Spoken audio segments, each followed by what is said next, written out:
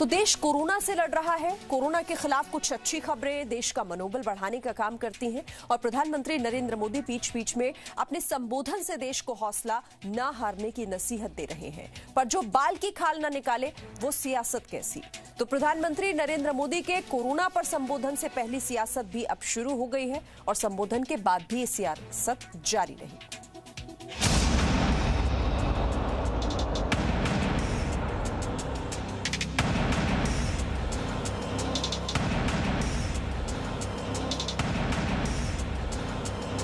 तारीख थी 20 अक्टूबर की।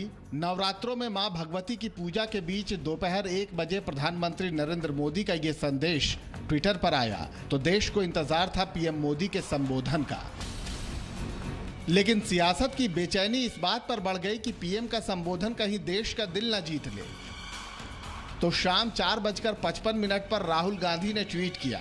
और लगे हाथ पीएम मोदी से ये भी पूछ लिया कि वो ये बताएँ कि चीन को भारत की ज़मीन से कब बेदखल करेंगे। इसे कहते हैं, मान न मान, मैं तेरा मेहमान। उन्नीस सौ बासठ में चीन के हाथों भारत की ज़मीन गंवाने वाली कांग्रेस पार्टी खुद तो कभी चीन को आँखें नहीं दिखा पाई। प्रधानमंत्री नरेंद्र मोदी को बार बार चीन को धमकाने वाली भाषा समझा रही है। मानो पीएम मोदी कोरोना से जंग तो बाद में लड़ें, पहले चीन से युद्ध छेड़ दें। वैसे भारत के पराक्रमी योद्धा चीन से मोर्चा ले रहे हैं, लेकिन राहुल गांधी का सियासी चश्मा उन्हें भारत का पराक्रम देखने नहीं दे रहा। तो कोई क्या करे? खैर, तय समय के मुताबिक पीएम मोदी आए, कोरोना पर देश को महामृत्युंजय मंत्र दिया। त्योहारों को देखते हुए देश के मुखिया का ये संबोधन उतना ही ज़रूरी था जितना कि पहली बार लॉकडाउन के वक्त। लेकिन पीएम मोदी के इस संबोधन में सियासत को उपदेश नज़र आया। कांग्रेस नेता और राज्यसभा सांसद प्रमोद तिवारी ने कहा कि मोदी जी ने ये नहीं बताया कि सरकार क्या करने जा रही उन्होंने ये तो बताया देशवासियों को क्या करना है?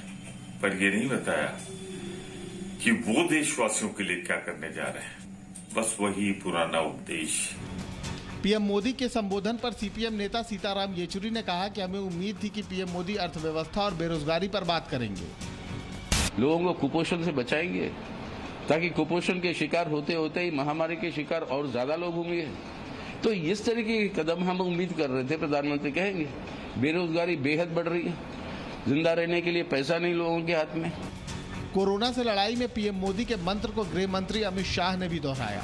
अमित शाह ने ट्वीट करके कहा, जब तक दवाई नहीं, तब तक ढिलाई नहीं की अपील को अपने जीवन का मंत्र बनाए और स्वयं को और अपने परिवार को सुरक्षित रखे। एक संयुक्त व संकल्पित भारत के रूप में ही हम इस आपदा से जीत सकते हैं। सूचना प्रसारण मंत्री प्रकाश जावड़ेकर ने कहा कि प्रधानमंत्री के संबोधन से देश में नया विश्वास जगा है।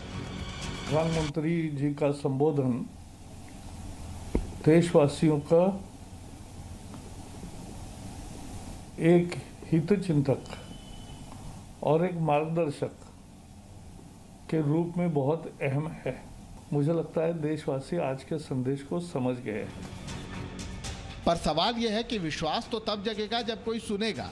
विपक्ष के लिए तो मानो अब कोरोना का संक्रमण कोई संकट रहा ही नहीं। कोरोना तो जैसे इनका नाम सुनकर ही भाग जाएगा तो भला मास्क और सोशल डिस्टेंसिंग की ज़रूरत ही क्या है? तो विपक्ष के नेताओं को पीएम के संबोधन में खोट नज़र आने लगा। क्या करें? आखिर सियासी मजबूरी है तो विरोध करना ज़रूरी है। पर हम इन्हें ये ज़रूर बता दें कि पीएम मोदी ने अपने संबोधन में बीमारी से लड़ने के लिए वैक्सीन पर तैयारी का भी ज़िक्र किया। Bureau report, Zee media.